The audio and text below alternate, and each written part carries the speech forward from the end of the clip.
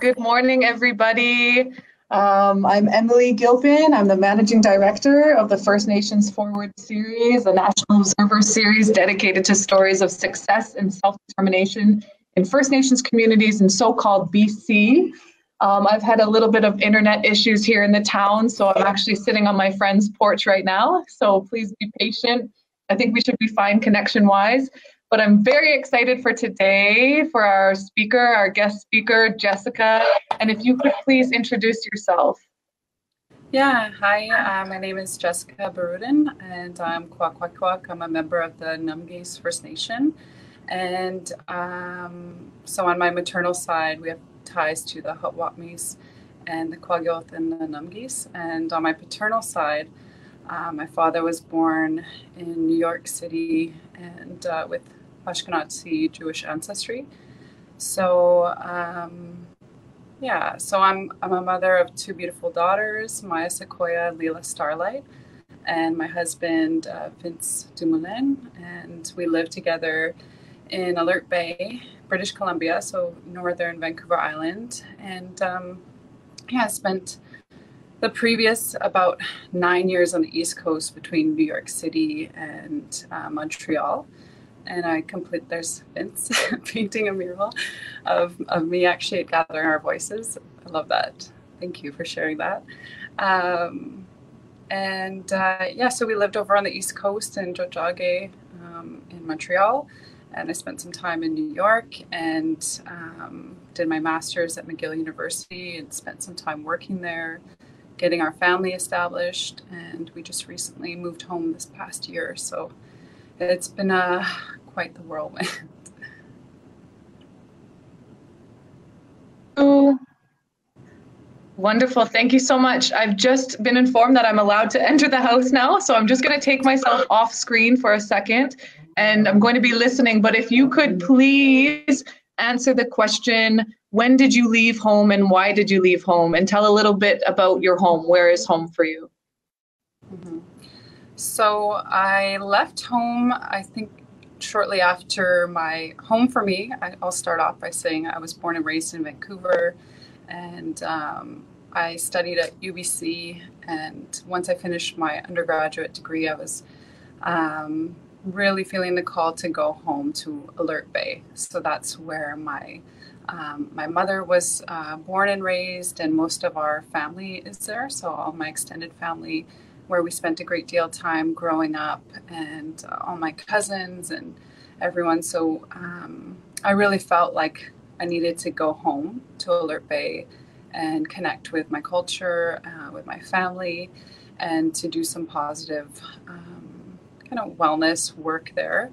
So, I had just finished a degree in human kinetics and thought I'd uh, try things out with personal training and um, group fitness and things like that, just to get people moving. And um, so I did that for a while. And um, after about six to eight months or so, I was feeling um, a little bit uh, like I needed some more guidance, some more mentorship. I was still quite young in my early 20s and um, had just been saving my money and, and had wanted to go to New York. So I started looking for apartments and applying for jobs. And um, I got a bunch of interviews lined up and booked my ticket and went to New York City. And wow. Some friends there, some uh, my uncles there as well, and um, just I love the city there. And that time I was just adventurous, you know, no kids and uh, nothing, no commitments really, and uh, made the leap and started working there right away in, in Tribeca at uh, a gym there. And um, I had already applied to grad school, so I was sort of in between and sort of um, biding my time until, you know, hoping that I was going to get accepted into the, the, programs that I applied for. And um, yeah, just worked, learned how to hustle in New York City, and that was that was kind of crazy. Um, and then I got accepted to McGill University and um, um, Queens as well. So I made a decision to go to study at McGill because I was familiar with Montreal and I had several friends of mine who were also starting programs at uh, McGill and Concordia. So uh, it made sense to have that support and yeah, started school. That's so exciting. I mean, it's not every day that you hear about somebody that goes from a small village, you know, coastal village to New York City and making a huge change like that. So I'm wondering, like, when you were living in the, in New York City and Montreal those first few years, what were some of the biggest differences, the biggest culture shocks for you? What did you miss the most about home?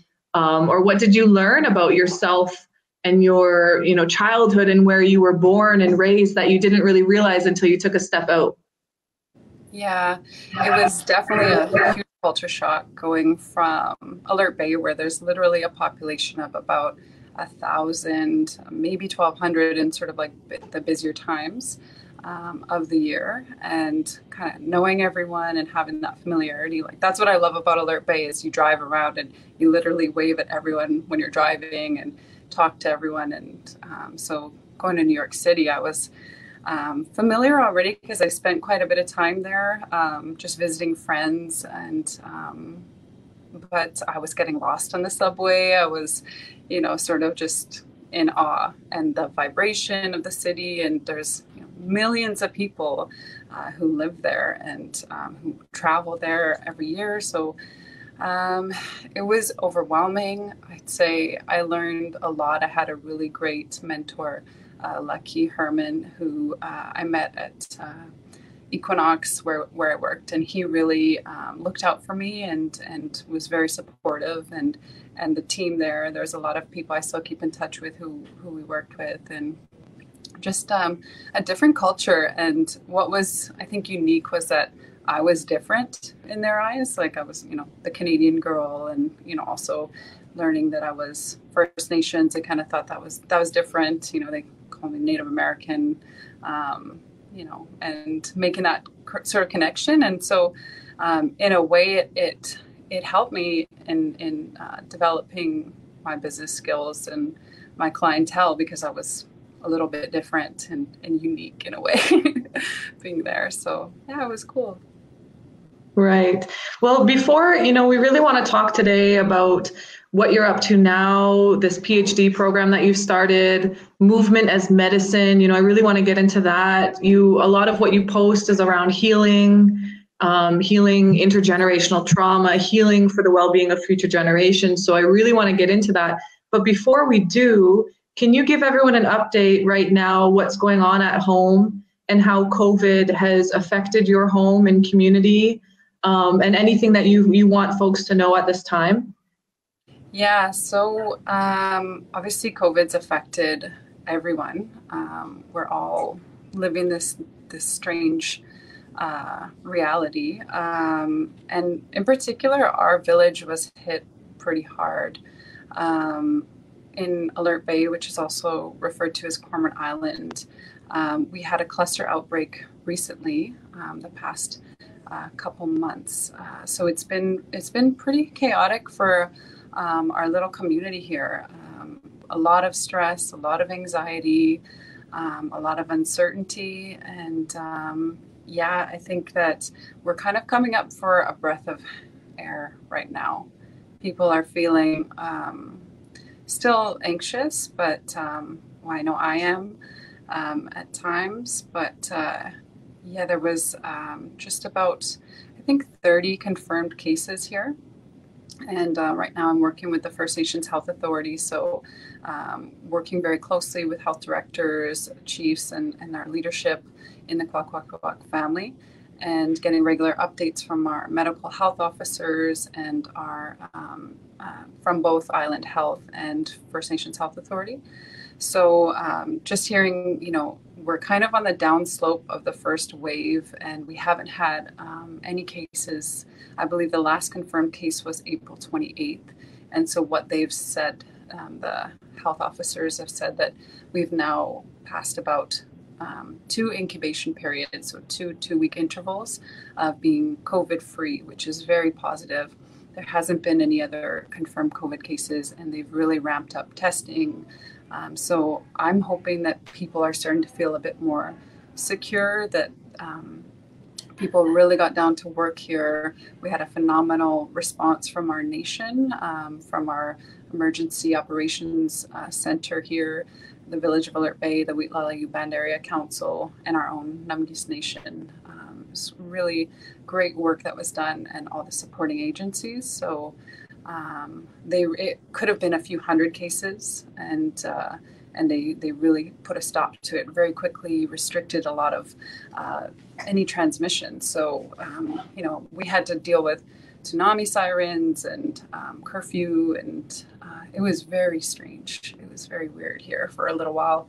But I'm, I'm glad we're a bit out of the woods. Um, unfortunately, we did have um, we did lose a community member. So um, one of our um, elders here, a beloved woman, and um, that was, you know, really publicized um, in a way in the media or was highlighted, I should say, not publicized um, around that loss because losing her was uh, the first death of a First Nations person in community.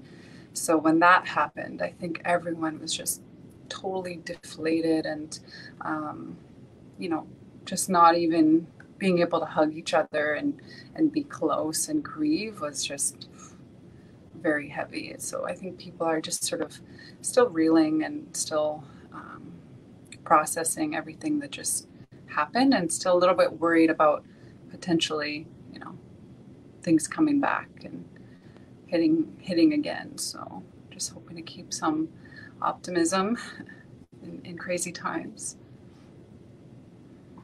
Thank you for sharing, and I'm so sorry to hear about that loss for community. Um, I've had the opportunity to visit your home territories twice, and they're very beautiful, very beautiful. And I know um, from the the folks that I've met, very strong community. So I think it's a testament, you know, to people coming together in these times as well. Um, just moving along a little bit, can you tell me what you were up to when you were in Tiohtià:ke, when you were in Montreal, Kanen'kehá:ka territories? What sorts of things did you get involved in, and how did you maintain your relationship to exercise and yoga, and how did that continue to be a part of your life? Yeah, so I mentioned I, I went to start my studies. Uh, I did my master's in physical therapy at McGill and um, right away, I, I, became connected with the uh, McGill First Nations community. Uh, they have a First Peoples House there, so I connected with um, my now um, one of my closest friends, Paige Isaac, who was, um, you know, leading the, the programs there, and um, she she really, you know, just embraced me, and I, I, let her know that I wanted to get involved, and um, just sort of keen because that when when you're so far from home and kind of creating those communities. Um, that was just something that I felt really um, like I wanted to do something and have some opportunities to connect with the the other First Nations people, um, other Indigenous people uh, in that area, and in those sort of same circumstances. So um, yeah, it was uh, it was uh, a very defining time in my life. I find.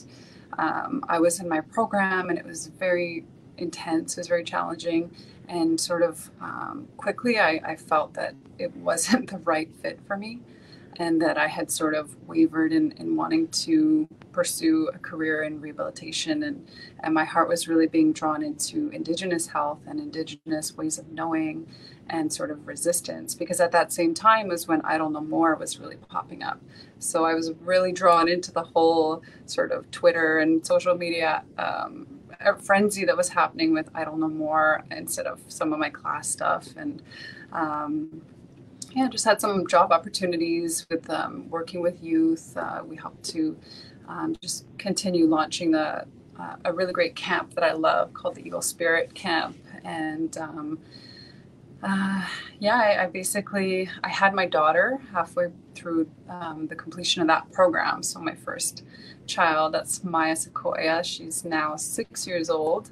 And um, yeah, I had her, I became pregnant with her when I was 25 and had her when I was 26 and um, had to take a leave from the program. And um, I was a little bit, um, you know, beside myself because they weren't very supportive of having a pregnant student. And um, at that point, there really wasn't a whole lot of support for First Nation students. Um, and uh, I was on my own. Vince and I were really having to. We struggled pretty hard in those in that first you know couple years of her being alive, and still maintained you know uh, like family life, and um, we had a lot of support from his family and um, our our community there. Uh, but it was it was really hard being away from home and, and sort of um, you know unsure of what was going to happen. So um, yeah, there's there's a whole sort of backstory. I'm not sure how much in depth you want to want me to go into that, but that really that that pregnancy and that um, sort of uh, experience shaped a lot and our direction of um, mm-hmm. our priorities and everything.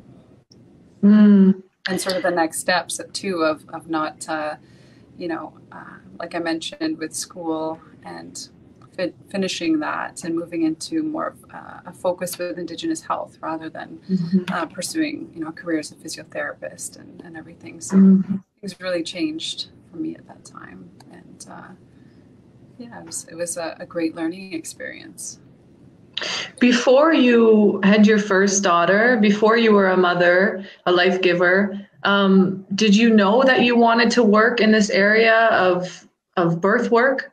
Because you're now a doula, and we'll talk more about that later. But did, was that experience, and then being, you know, and then having a second daughter, were those the experiences that were like, this is the field I want to work in? And was there something about your actual lived experience that really I didn't realize that this was a part of the process, or I want to be a part of making this experience how I wanted for, for myself as a mother for other life givers? Or can you talk a little bit about what drew you to that work? Hmm.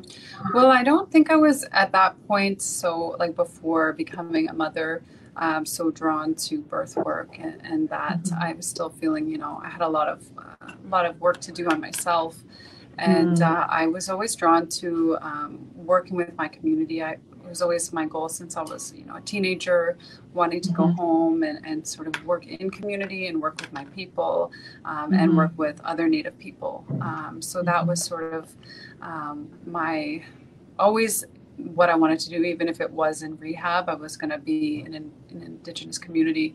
Um, but birth work and all of that didn't really start for me until you know, um, having my own children, um, I was mm-hmm. able to be a part of one of my best friends, uh, her her daughter. I was there for her birth, so um, supporting her through that when we were uh, 19.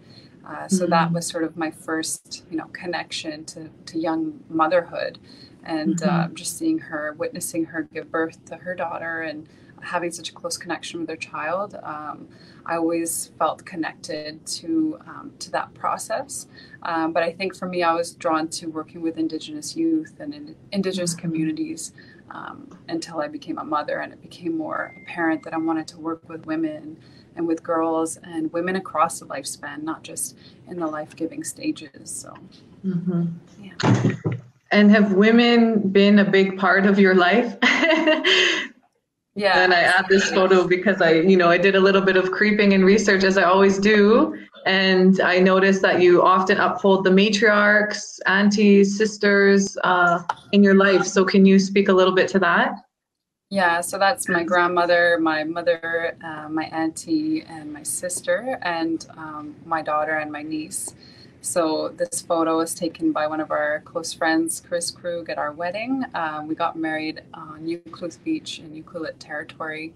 Um, and it was such a special moment for Vince and I and for our whole family. It was a very intimate wedding ceremony and how we integrated different elements of our own spirituality and our spiritual path.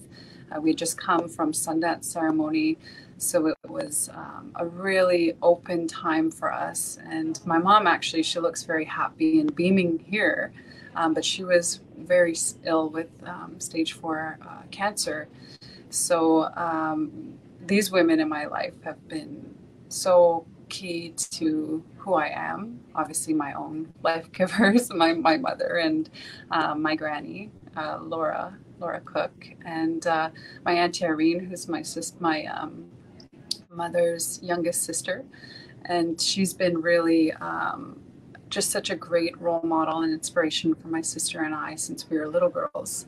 And uh, I always look up to my my my own family and the other um, auntie types that we have in our life, and my sister Raven, um, also another amazing support for me and uh, just inspiration. She's such a beautiful person, and we were pregnant with our daughters at the same time, so I think that was sort of the the catalyst too for birth work and women working with uh, with moms and everything. So she was.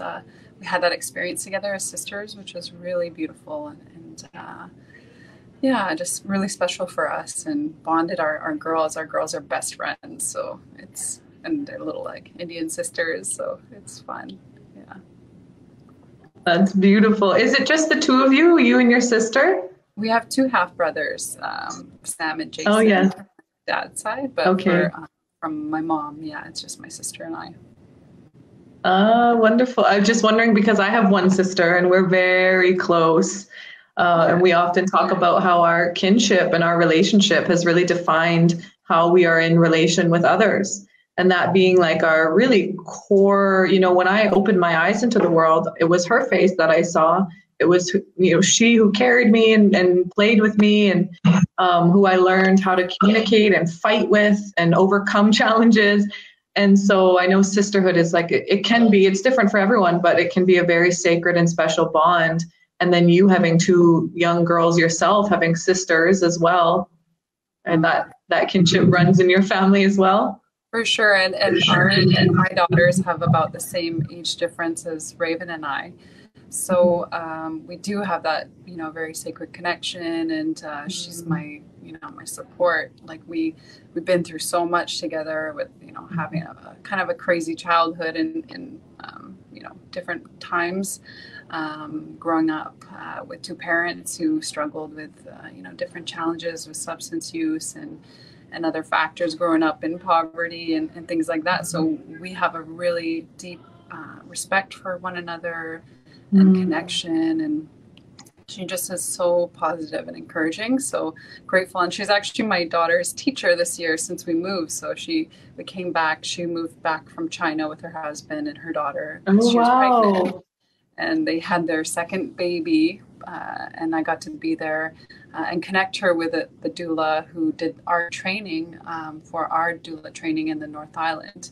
And so um, she had that connection with that um, Miranda Kelly from the Equato Collective, and um, yeah, she had her baby in hospital, and I got to be there the day she was born, and um, just hold her and connect with my sister, and you know, just that whole process. It really, you know, us coming home was you know, we're always on the phone, like, okay, how, are you gonna do it? Or are you gonna go home? Or like, wow. like, you know, we didn't have, we both had to kind of like make big decisions, and we we we like our families had big decisions of okay what's what's on the horizon for our career what's what are we going to do because it's hard when you're taking care of mm-hmm. young families and moving and so they were kind of they were in china for two years teaching and decided to come home because of, mm-hmm. of pregnancy and mm-hmm. um, and yeah us too we had a, a really you know wanting to come home for many years but to actually make it happen was was um,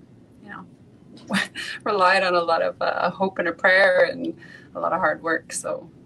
Mm, well, it sounds like you have strong prayers. I mean, the first time I ever met you and your partner, your husband, was in ceremony with um, Delbert, who's been commenting on here, which is wonderful. And I have a photo we can bring up just to really hold our hands up to them. Oh, Delbert. Do you want to speak a little bit about your relationship with this with this couple here and, and what that was like? Yeah, so Jean Stevenson, uh, Muskego Cree, and Delbert Sampson Shuswap uh, First Nation, the two elders who really um, mean so much to Vince and I. Um, just beautiful people, and I know you know them well as well. Mm-hmm. Um, and people in Montreal who have the opportunity to to know them. Um, just they they did so much for us. Oh, I feel emotional. um, yeah, they really helped us out when uh, we went through a tremendous uh, period of grief and loss. Um, Vince's mother, um, unfortunately, she was killed uh, a few years ago.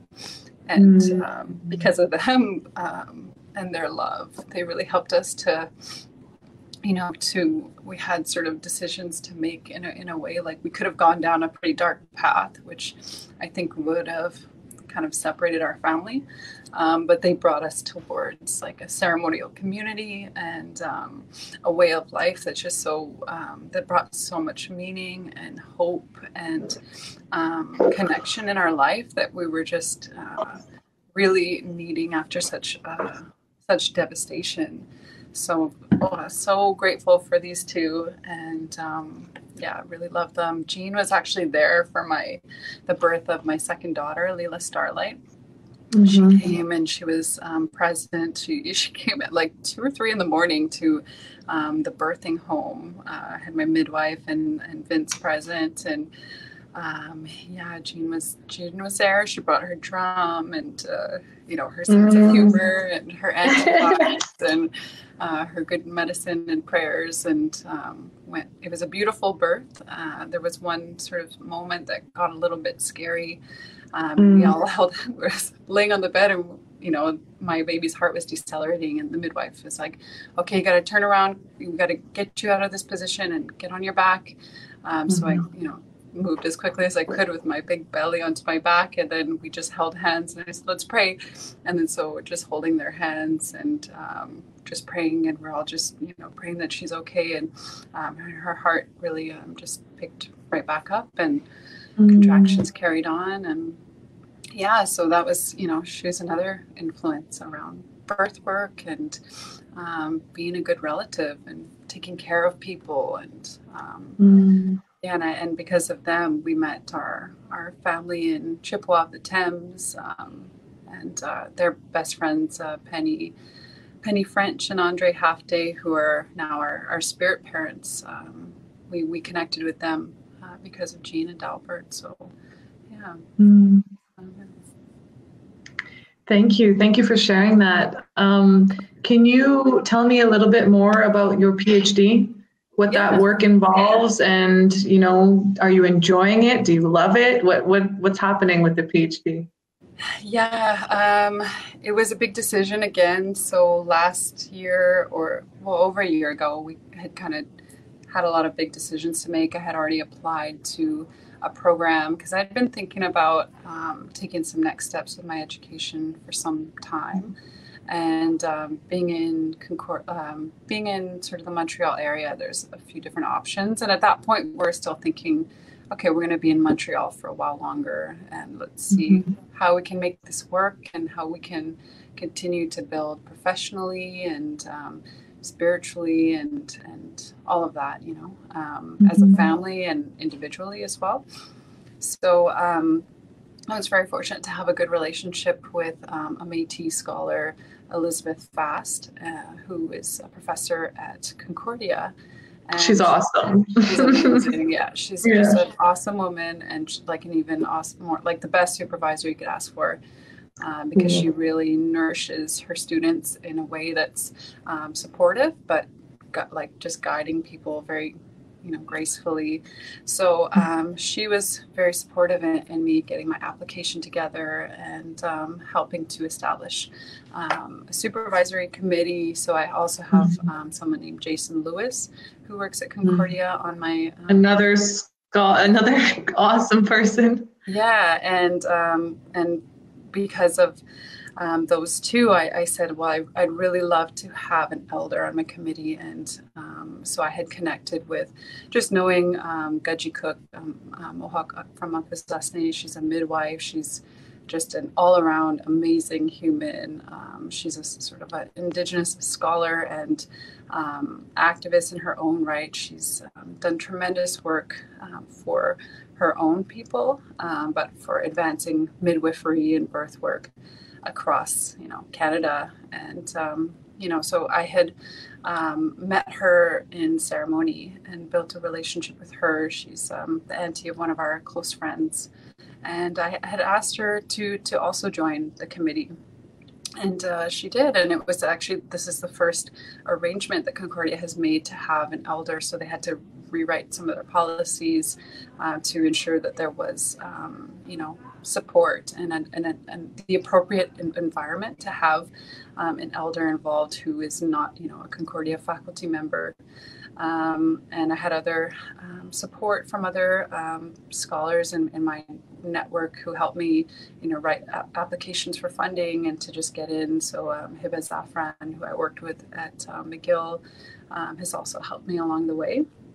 And basically, it's an individualized program at Concordia University. Um, and what that means is that it's research creation and sort of outside the box type of research. So something that doesn't just fit in a discipline. And that's what I I knew I wanted to do something involving Indigenous health, um, Indigenous traditional ways uh, and values, and uh, you know working with women and youth, and also um, something in, integrating yoga um, and meditation and embodied practices. And I was just sort of I remember sitting, sitting with Liz get, getting ideas for my own practice and or sorry my application. And I was like can I really do this? Can I actually like just pull all these things together that I love to craft this sort of you know scholarship type of program?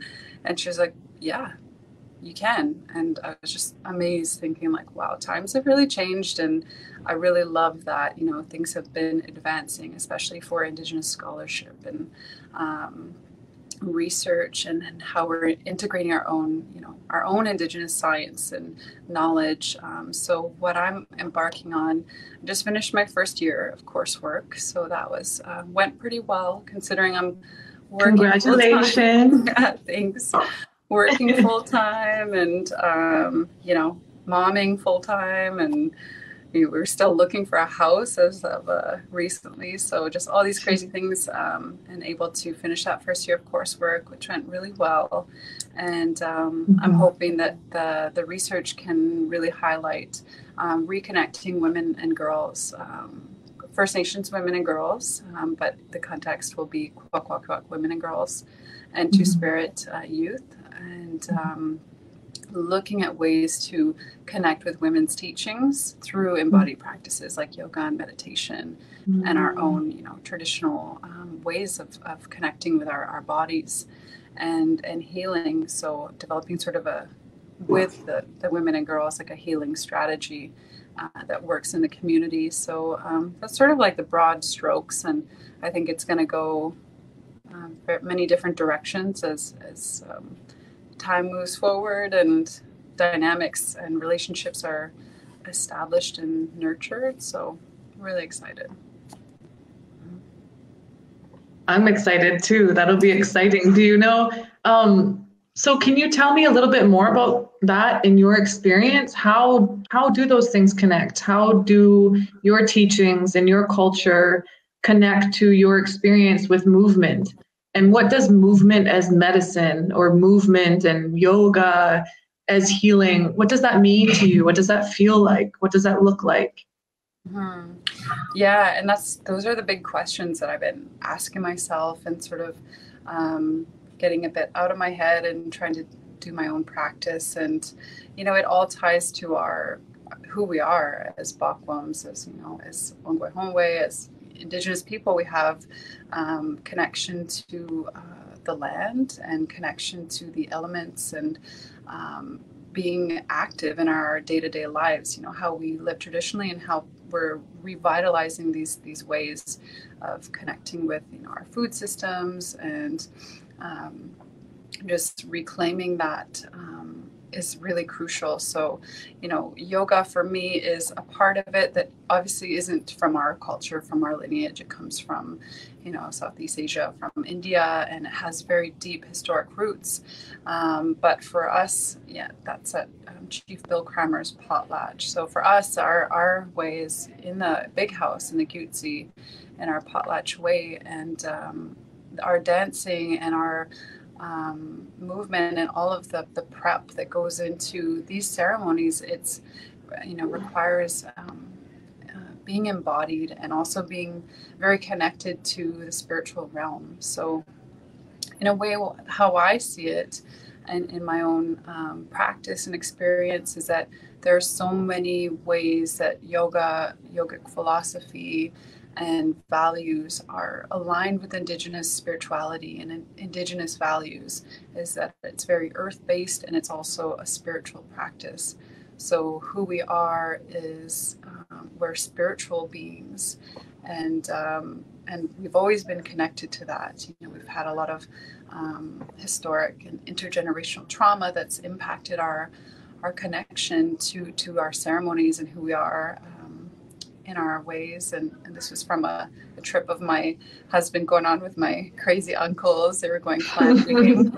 and so that, you know, you know, harvesting foods, you have to be mobile, you have to be flexible. Like clam digging is very arduous on the back and um, just different things and taking care of children and a lot of mm-hmm. walking and being being busy. This is my uncle John Macko's smokehouse preparing some fish here, um, which, you know, it's a lot of work that my husband's been involved with since he's been, you know, moved from Montreal. So I'm very grateful for all the, the people in my life, uh, my uncles and my husband who, who are part of that, um, you know, food process of maintaining that connection to um, the land and, and our, our food. So, um, yeah, I, I, see that just being connected and, and also for me is just working on um, developing emotionally, spiritually, uh, mentally, and physically, and mo- uh, sort of modeling that for my children,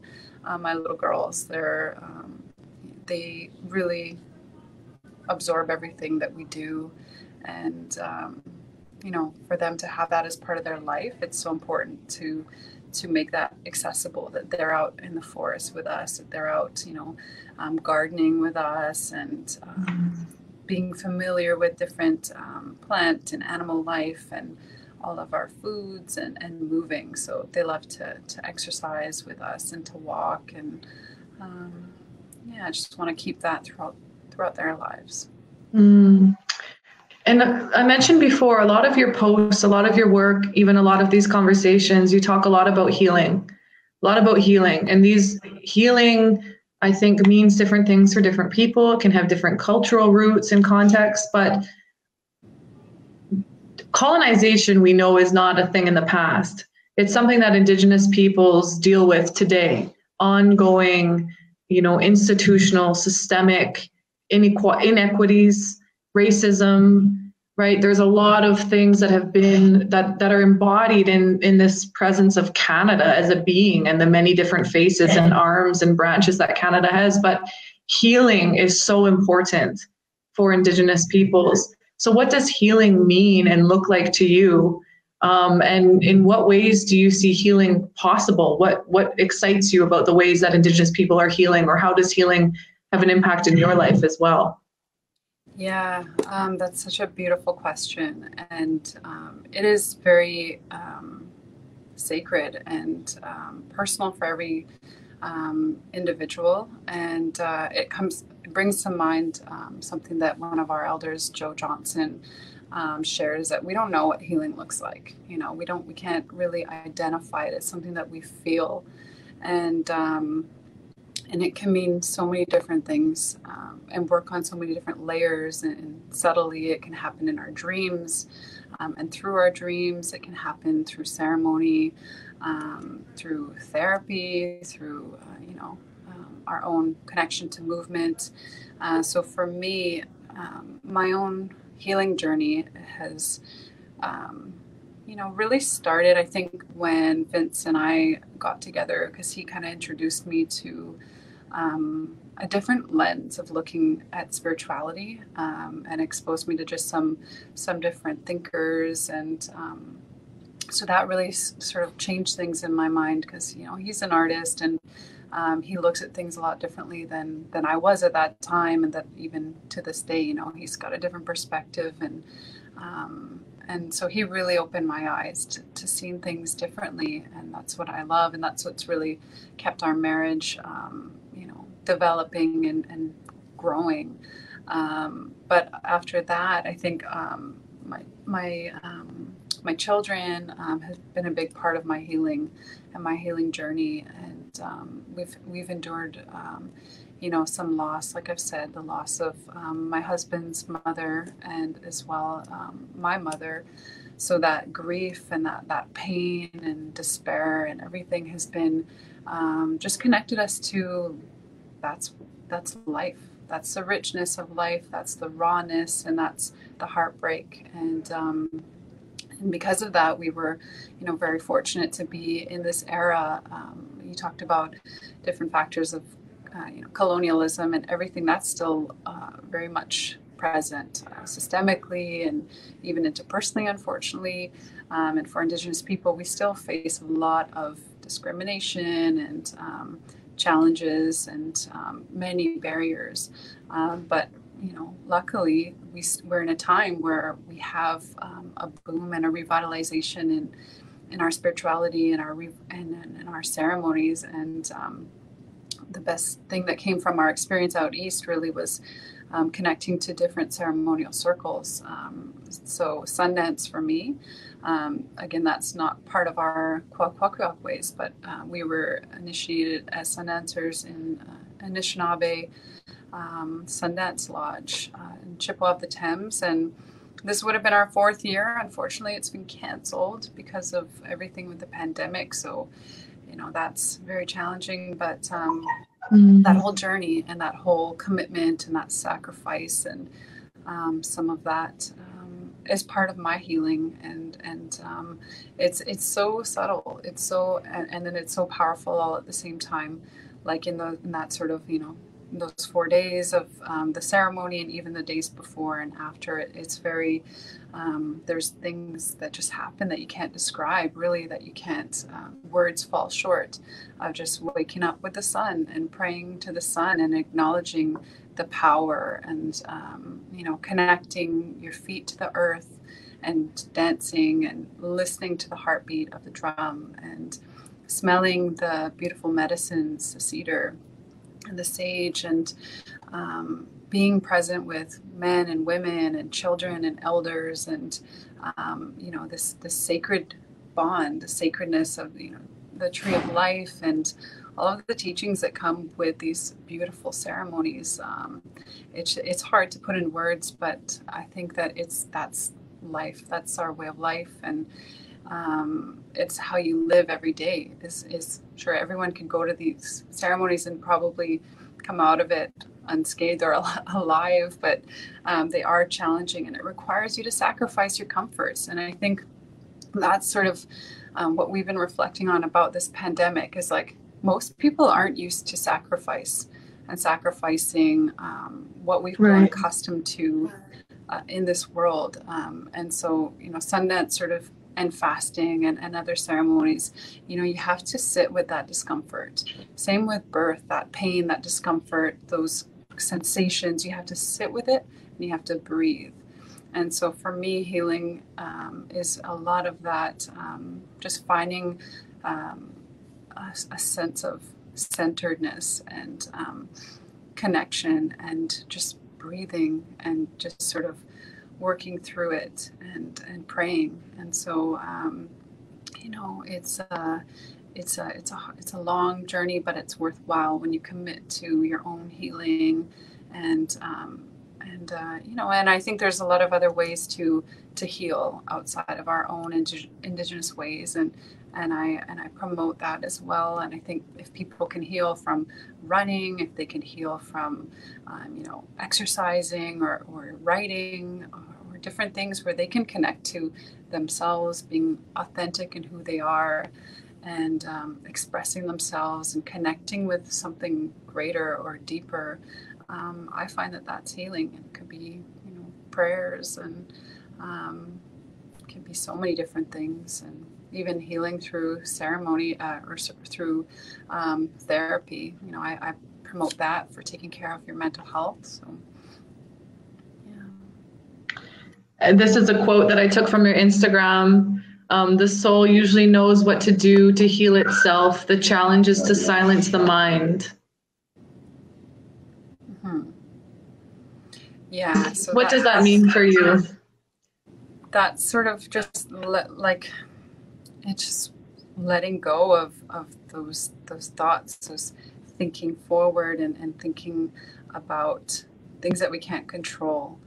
And um, I think that's really part of what you know my own healing in Sundance and in ceremony is just um, sitting with yourself and um, being present and um, experiencing the emotions and um, you know connecting with the elements and that's that's a big part of it. And you know i think about another elder that um, we love and, and um, have learned so much from tom cook from Akwesasne and his wife loretta Afraid of Bear who's lakota sioux.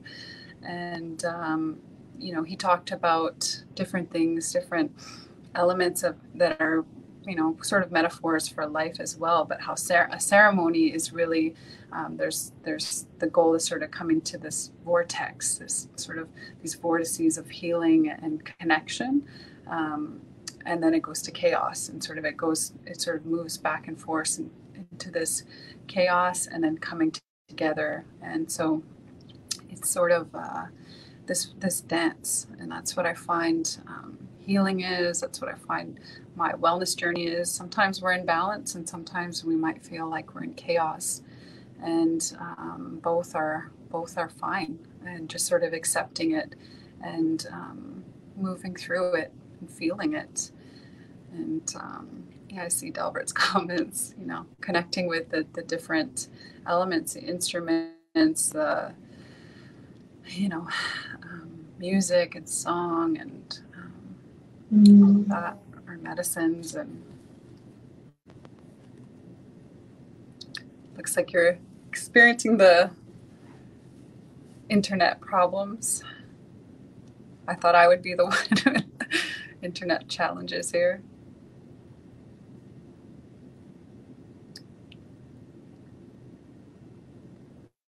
I'm back. Am I back? Yes, I You're think back, so. yes. the internet, the, the, the village town here is having some general internet issues, so it's kind of coming in and out. But thank you for sharing that. I heard you and I hear you.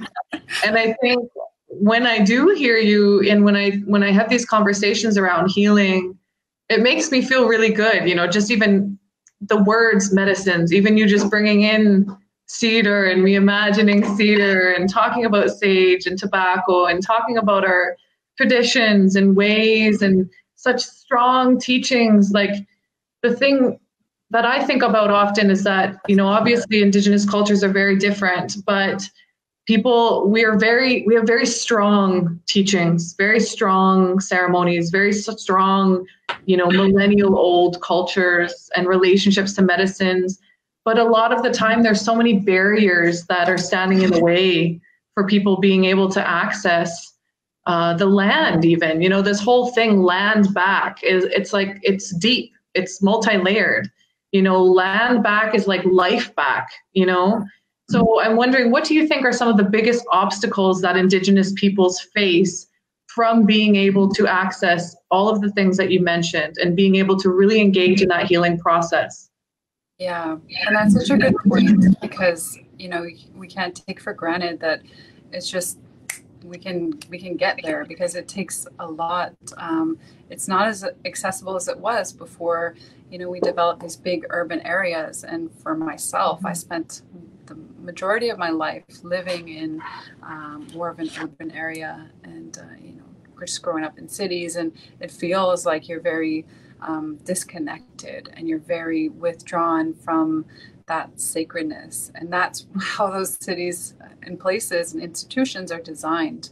Um, mm-hmm. For us as Indigenous people to connect to that, it, it, it can be very uh, daunting, it can be um, um, triggering, it can be so many things, and, and sort of uh, this movement and re, re, uh, reclaiming land and territory and um, connection to these these uh, places in, in our territories and um, the oceans and just protecting mm-hmm. that um, is so critical. And I really want to, you know, just acknowledge all the people who are on the front lines and fighting for that. And mm-hmm. uh, it's just incredible um, and important work um, for people who are in those situations where they're feeling like they're not connected. Um, I think the first way, you know, for me uh, in an urban area was um, a talking circle, and I was able to um, connect with elders, you know, um, connect with, mm-hmm. that's where I met Jean and Delbert and mm-hmm. um, having things that are, um, you know, like a humble perspective. You can have a glass of water and you can pray to that water. Uh, you know, you can have mm-hmm. Um, your own medicines on you if, you if it's tobacco, that's something that's sacred to you. It's, it's developing relationships with those medicines that, that takes time. Um, but once mm-hmm. you start doing that it, it's very you know that's it's all it takes is just sort of mm-hmm. an openness and you don't have to be an expert like i'm not um, i have different uh, instruments that that we've been gifted and that we've you know traded and and um, um, purchased so like hand drums and like it's just connecting with that that um, you know that connecting with the spirit of that instrument for instance so mm-hmm. the hand drum, just acknowledging the, the, the wood that's involved with making that, the, the mm-hmm. animal um, that's been sacrificed to, to make that, and all the intentions, um, you know, the different, you know, shakers and gourds and the different stories behind it is just connecting with it and learning about um, songs. And that's something that I'm, I'm, I'm you know, still um, learning. I'm still, uh, you know, trying to, to pick up different songs and, and our language. And, and what's beautiful is I get to learn with my daughter. Um, she's in mm. school, she's in a T'lisalagi'lakw school where they have a phenomenal cultural program and, mm-hmm. um, and they do a lot of language and um, dancing. And right now, because of COVID, everything's online. So they're sharing mm. so much content, so many beautiful songs and mm. teachings and legends. And, and so um, we're very lucky that we have the cultural leads that we do, um, but because of you know where we're at, there's so many ways to connect with um, our own cultures because of this sort of mm-hmm. online experience and social media. Um, but it's also you know I just encourage people to have um, just developing that relationship personally, whether they're putting their feet in water or they're, you know, walking on the earth or you know, amongst mm-hmm. trees or whatever it is that, that's sacred mm-hmm. to you. Um, it's it doesn't have to be so um, challenging in our in our own minds. We can keep it humble, and mm-hmm. um, yeah, even giving thanks for food or giving thanks. Um, one of my favorite things um, that I should practice more regularly is, is just waking up in the morning, and um, what I love is to sort of look out and to towards where the sun's uh, coming up and to to just take some deep breaths. Like i try to take 10 deep breaths um, before even aligning with um, prayer or anything. Is just connecting with your own breath. That's a ceremony.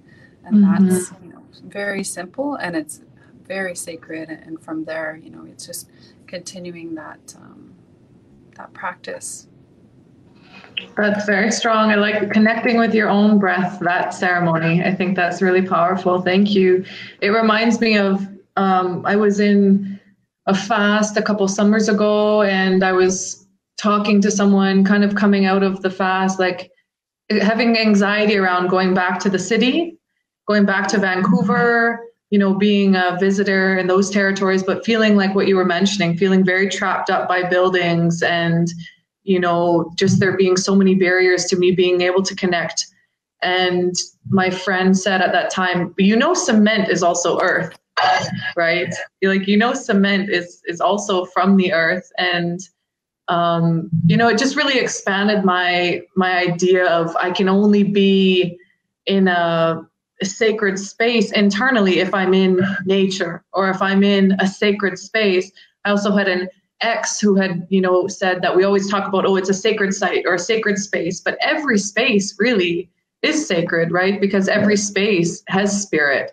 And if you're occupying that space, your spirit is in that space too. So it just really unfolded the way that I thought about these things. But before we continue, looks like community members are demanding that you sing a song. I think it seems to be your husband that started it off. Sing a oh, song. and then we have sing a song, sing a song, sing a song. So you were talking about learning a song. You're talking about song as medicine. So I would love if you're comfortable. I'm going to take myself off the screen. You haven't lost me to the internet here, but if you would like to share a song, and if you could share a little bit about what that song means or what it is, who who wrote the song, where you learned the song.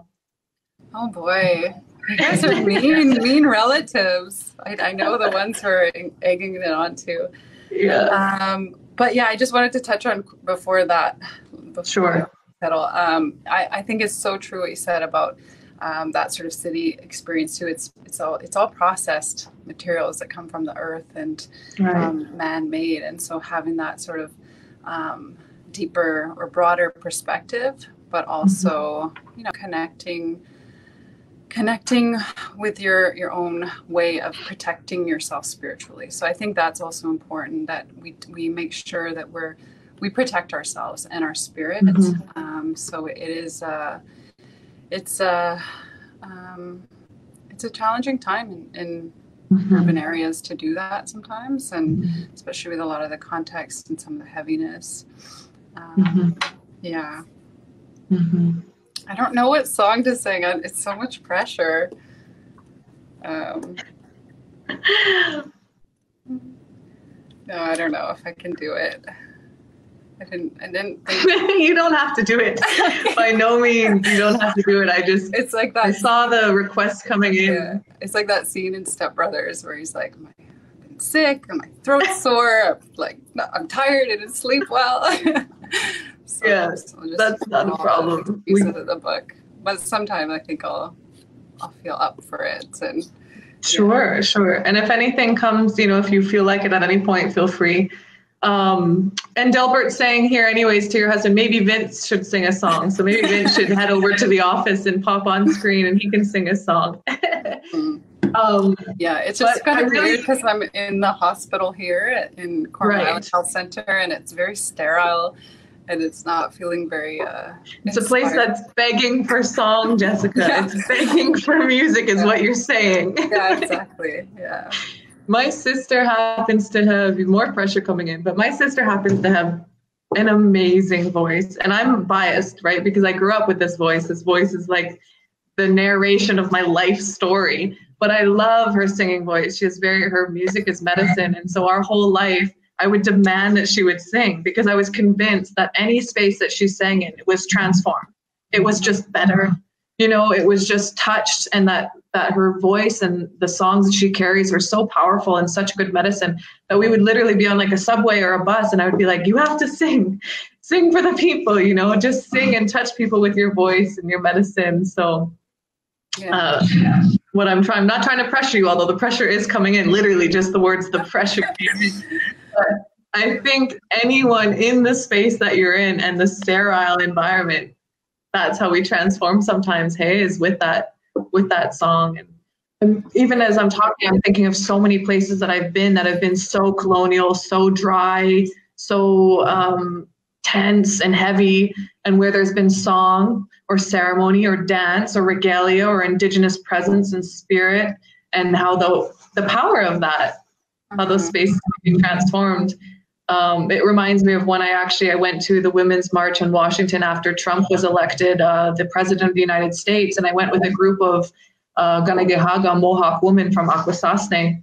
And I remember it was a really powerful time. Actually, we were sitting on the subway, and the subway was full of protesters, people with like vaginas on their heads, and all of these, you know, all of these women upset with uh, the fact that Trump was that we had this predator and racist person that was the president of the United States. And um, my friends, my sisters, they started singing their water song on the mm. subway. And um, their water song is like from Akwesasne. The, I've heard it. Yes, it's so beautiful. Like it's so moving. And it was just such a, yeah, it was a very powerful moment just seeing how they transformed the environment. Everyone, you know, there was this energy of protest, right? Protest and um, and then just having this music and this medicine and this water medicine come into that space it was very powerful. Okay i think i'll sing a little bit of a song because it just reminded me of um, just my experience in montreal. We had a women's uh, hand drum group that we started with the first people's house and um, we had different people like Vicky Boldo, who's now the one of the elders at Concordia University, um, who mm-hmm. shared a song with us, and uh, you know Mo Clark and um, different Dana Danger, all the different people in, in, that sort of Montreal scene. We had this women's yes. group come together, um, sort of weekly or bi-weekly, and um, yeah. So Vicky shared the song, the Wildflower song, um, that I love, and that's coming to me now um, mm-hmm. more than any other song. So um, yeah, could you like put up an image or something so I don't have to like? Absolutely, I'll put up an image for you, no problem. And if it's if it's the song I'm thinking of, I might know it, so I might join you. Wildflower. Yeah. Yeah. Okay. Yeah, join me, please. okay, I'll put up. Hold on, let me put. What what image? Did you see any images that you liked? What about this one? Is this okay? Yeah, that one's good. Okay, great. Notice how I put in the backdrop the salmon. Yeah. I've been playing around with photos. yeah. All right. We're ready for you whenever you are. Hey ya, hey ya, hey ya, hey.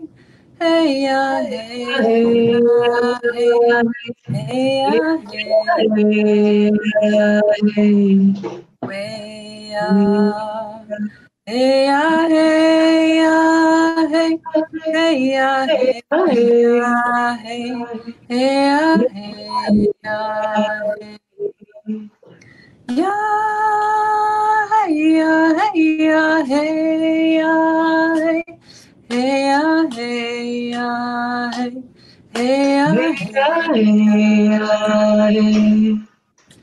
hey, yeah, hey, hey, yeah, hey,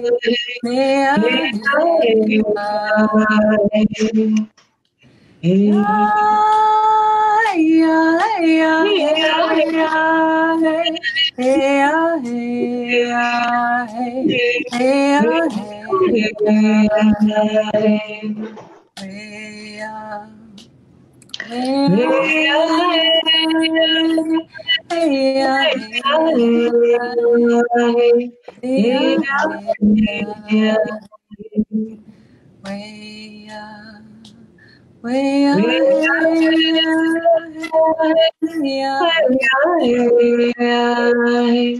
Hey, hey, hey, I don't know. There's a lot of feedback on my end, so. yes. sore, I'm tired. it was beautiful. No, belt it out. yeah. Next time I'll come like Start singing a little bit. I love that song. I mean, I love the idea of wildflowers. I love that wildflowers burst through concrete. Uh-huh. Right? Like that's so powerful. Um, uh, yeah, and wildflowers burst, burst through concrete. Like I, I, thought about that a lot when I was living in Vancouver. I was living in the downtown east side at Skwachàys Artists and Residency building. And um, yeah, I thought a lot about how life exists everywhere. Life is so resilient. You know, this life force is so resilient. We are so resilient. Um, so yeah, and it looks like your daughter was singing along, sang along with her mom, which is beautiful. And you've also just blessed the hospital, so lots of good feedback coming in. Thank you for sharing that song. Yeah, music is medicine. As a nurse, she's was a nurse here. She is a nurse. She's from here. She's a, a relative of mine. So yo, mm-hmm. yo, cuz. She's awesome. I know her too. I've run into yeah. her a couple times and always just you know i leave with such good energy you know yeah. i'm like wow she's just got a really a lot of good energy you know yeah. a lot of really good medicine that she carries and seems to bring around so and she gives the best hugs so the best hugs yes yeah. yeah so you're in you're in good company what's it been like being home how has it been being home i mean i some of the photos that i saw creeping i'm drawn to food so i was like i had to you know, try not to get too distracted. But I saw a lot of salmon, a lot of, you know, your own traditional foods. So yeah, what's it been like? It's been it's been really good. Um, it's been really mm-hmm. hard too at the same time mm-hmm. because um, you know Vince and I and our family we had so many ceremonial relatives on the East Coast and Haudenosaunee and Anishinaabe territory. So we really had to make a big choice because we had this, um, you know, connection and accessibility to those ceremonies that we knew, like Sweat Lodge and you know teepee ceremonies and Sundance and um, different elders um, support there. And coming home, it's it's different. It's a different mm-hmm. Um, uh, it's a different vibration, which is you know not to say it's better or worse, but it's um, mm-hmm. the ceremonies are different. Um, the beautiful part is when we were able to go into the Gutsi, you know, being a part of witnessing the different potlatch ceremonies and feast ceremonies and bringing our kids and, and having that that connection is everything seeing the masks seeing the new you know initiates seeing you know hearing the stories and all the preparation that people did um, for for these um, you know really important ceremonies uh, to honor their loved ones um, mm-hmm. and and all of that so um, that's been really great also being back by the ocean has been everything uh, for me mm-hmm. i get a lot of uh, healing and peace from the ocean um, so we go quite regularly and, and vince and i we actually go in the ocean and that's our one of our ceremonies that we have here for our traditional ways is um, spirit baths or ocean baths and uh, mm-hmm and so I've reconnected with that um, since being home, and uh, and it, it is like you know the same experience that you get from a sweat lodge. You, you're sort of you come out and you feel um, alive. You feel connected to your spirit again, like you've called it back into yourself, and um, so that has been helpful. Um, just again, like with the school, the the cultural program here, that's such a beautiful, rich hub of cultural mm-hmm. leaders. Um, all of our Kwakwaka'wakw people uh, are really resilient and, and powerful with their, you know, you've been here, you met them and their, mm-hmm. their songs and their, their voice and their presence. So I'm learning a lot um, and sort of continuing on that, that learning journey um, forever and mm-hmm. always, always going to be doing that. And I've got a long way to go. Um, but I think that, you know, um, it's been good and and also challenging. Just you know, with dealing with other factors like uh, housing because we didn't have a house right when we moved here. We had to kind of um, shuffle around a, a, couple of places and and um, and and so that kind of has been challenging. But uh, we did. We have a house mm-hmm. now and a garden and, and things are really, really family. Yeah. Wonderful.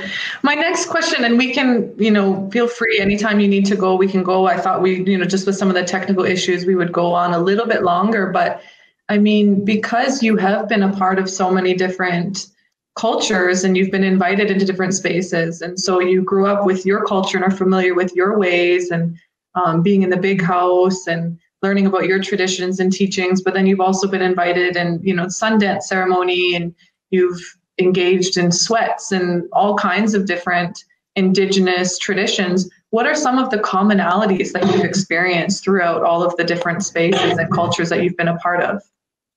Well, honestly, I didn't grow up very um, deeply rooted to our like our potlatch system, um, because mm-hmm. you know obviously you're aware of the the potlatch ban, um, and how that impacted um, not just potlatch ceremony, all ceremonies. Um, so, really uh, impacted Indigenous spirituality.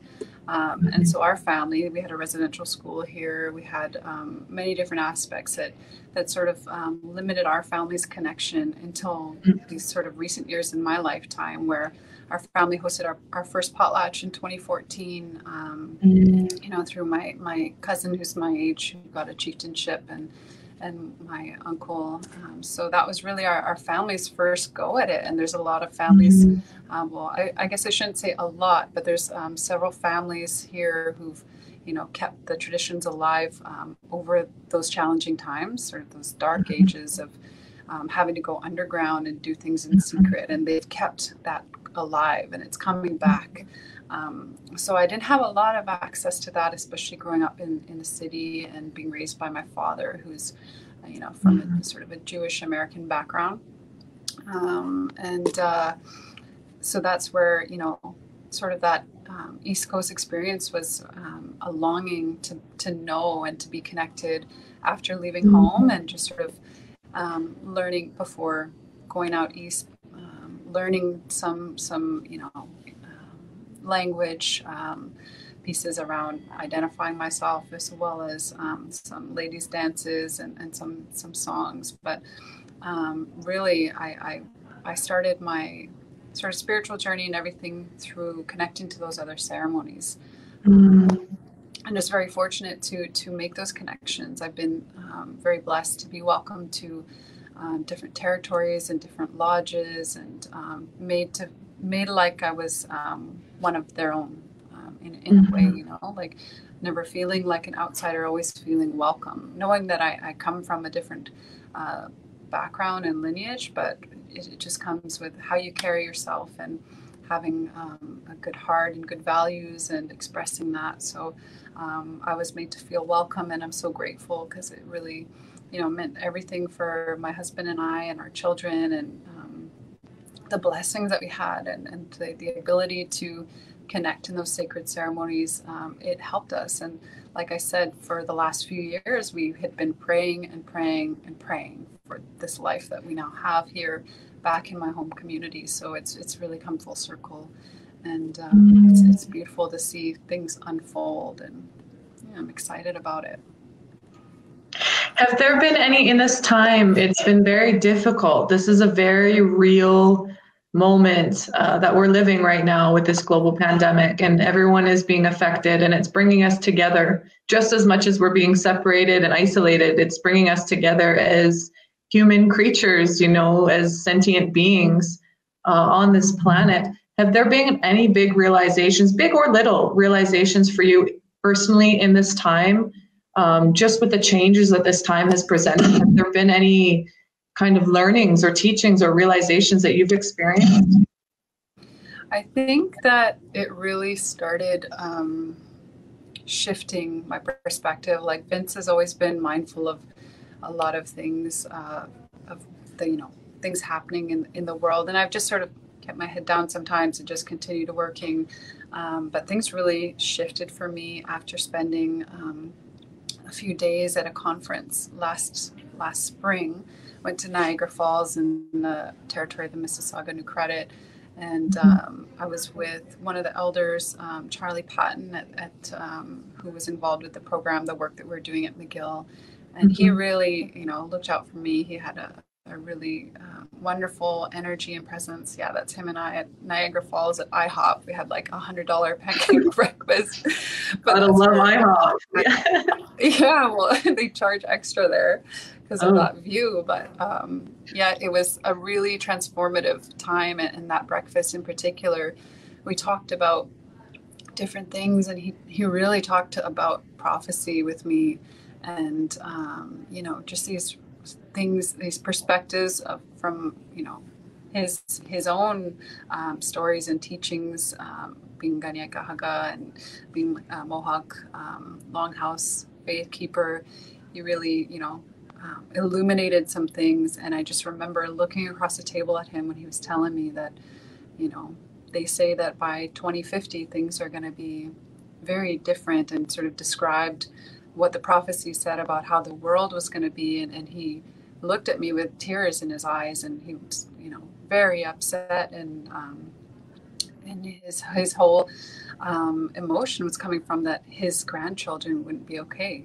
You know, that he mm-hmm. said that mm. I'll be I'll be gone by then, but my children and my grandchildren, and that was like in his face. I could see like that real like, okay, this is like that that felt like that moment for me. And I got home and I remember Vince and I were still kind of on the fence about decisions and moving and what we were going to do. And then I said, you know what? I think it's, you're right. We need to get out of the city. We need to go and let's do it. Let's, and he was like, what, what happened?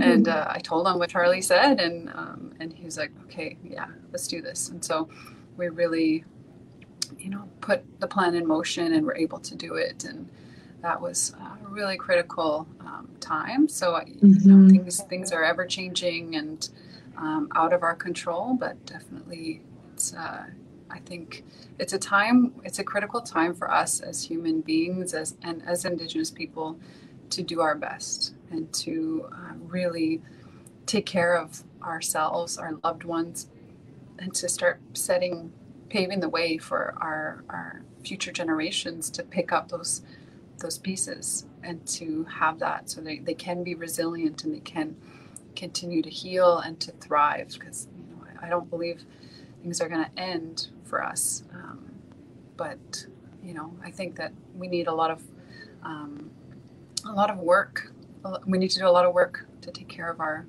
our people mm-hmm. thank you for sharing that um, is there anything else that you would like to share before we kind of come full circle and bring this conversation to a close?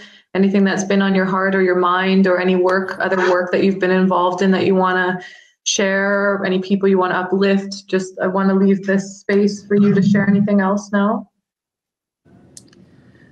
Um, good question. Um, I think I just want to say thank you to my family, um, to my uh, husband, and to my two children.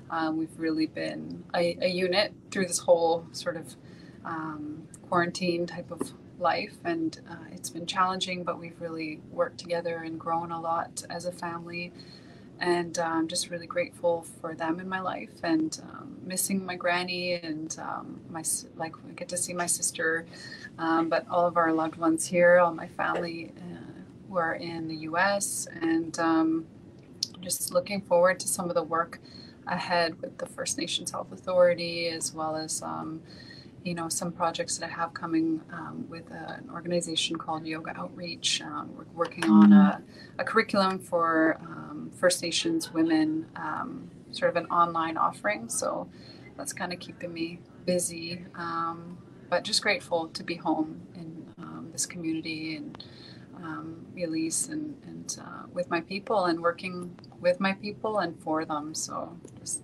mm.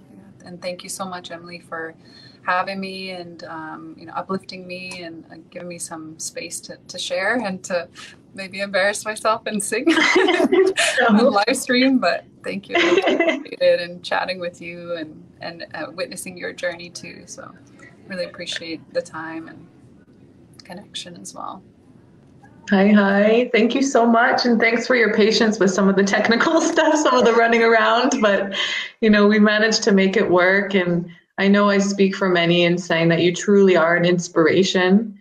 Um, you know, just something, one of the positive parts about this whole virtual world and reality is that we get to watch each other. Whatever we, little bits and breaths that we do share online, we get to be a part of that and kind of witness, which has always been a part of our people's witnessing and observing and learning through witnessing. And a lot of what you share, talking about healing and and moving our bodies and working through things within our bodies and within our minds. And what you shared today just sitting sitting in some of the difficult emotions and learning how to come back to breath that breath is ceremony. I mean there's i'm just really grateful for this good conversation you know to kind of end off the week and to bring into the weekend and then, you know, I've mentioned before these conversations, I'm working with someone to make highlight videos so we can pull out some of these quotes and really sit with them as well and give them the time and attention that they deserve and and really process and think about what you shared here. So I'm very grateful and I'm sure everyone who has participated today is grateful for your time and sharing and I know it's hard being a full-time mom and working and doing your PhD and all of that. So thank you so much. And yeah, I look forward to keeping track with your journey and seeing where you go and what you get involved in and supporting in whatever way. Thank you so much. Great Thank you. Yeah. Take care. Bye bye. Bye, everybody. Thank you.